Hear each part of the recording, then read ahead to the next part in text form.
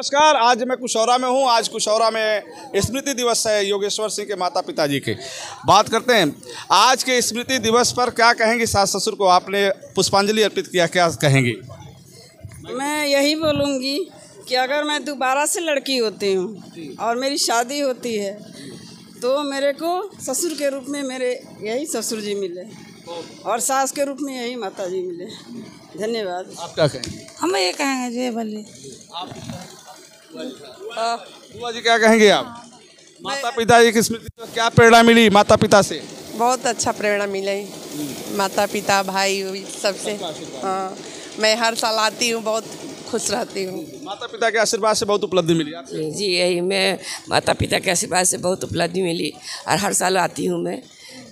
हमेशा बचपन से माता पिता का आशीर्वाद मिलता रहा।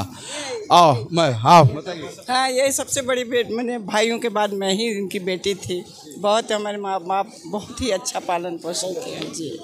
दोस्तों वैसे में मैं योगेश्वर सिंह को बधाई देता हूँ कि पूरे फैमिली एक साथ हो रही है। आज का अवसर स्मृति दिवस के अवसर पर।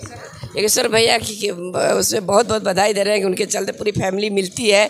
सब बच्चे आते हैं उनके सब नाती पोते सब आते हैं।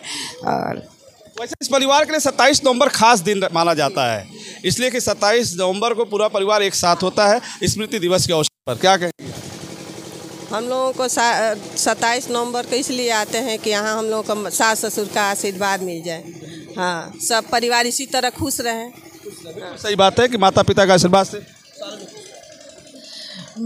मैं तो यही कहूँगी शायद मेरा ये एक सौभाग्य है कि मेरा रिश्ता इस परिवार से जुड़ा और इस परिवार का एक सदस्य होकर मैं अपने को गौरवान्वित महसूस करती हूँ।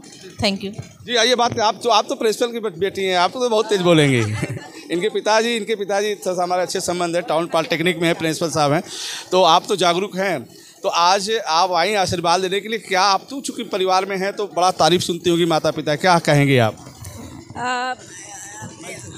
हमारा मेरा सौभाग्य है कि मैं इस परिवार का एक हिस्सा हूँ। तीन साल से मैं इस परिवार में हूँ। हर साल 27 नवंबर को ऐसे ही स्मृति दिवस बनता है और हमें हर साल बाबा दादी का ऐसे ही आशीर्वाद मिलता है। बिल्कुल बहुत सही बात है कि आशीर्वाद आज के दिन बड़ा मिलता है। चितेश्वर जी के लिए क्या कहना वहाँ पे जो गेट बना है बड़ा अच्छा लगता होगा। पहले लोग तो जानते नहीं थे। तो आज जो काम हुआ उसके लिए क्या कहें?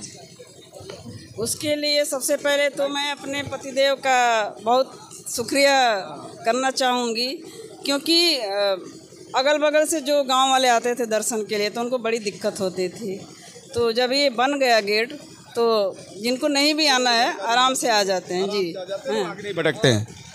सत्ताईस नवंबर को बहुत बड़ा दिन माना जाता है और हम लोग पूरी कोशिश करके यहाँ पे आते हैं और यहाँ बहुत ही अच्छा लगता है। पूरा परिवार हम लोग एकत्रित होते हैं और सब लोग एक दूसरे से मिलते हैं। इस परिवार की महिलाएँ भी बहुत खुश है क्योंकि 27 नवंबर खास दिन है। माता पिता का आशीर्वाद सास ससुर का आशीर्वाद, बेटी को आशीर्वाद मिल जाए, पुत्र को आशीर्वाद मिल जाए। और इन्हीं की देन है कि आज ये परिवार खुशमय जीवन जीता है, खुशहाली है इस परिवार में, क्योंकि 27 नवंबर आज का दिन बड़ा ही खास मायने रखता है। और भगवान की कृपा रहती है, ईश्वर की कृपा रहती है इस परिवार पर, क्योंकि इस परिवार में योगेश्वर सिंह जैसे जन्म लेते हैं, जो समाज के क्षेत्र में एक अच्छा काम करते हैं, एक मुकाम हासिल करते हैं, गरीबों के मसीहा के रूप में आज वो जाने जाते हैं। नमस्कार।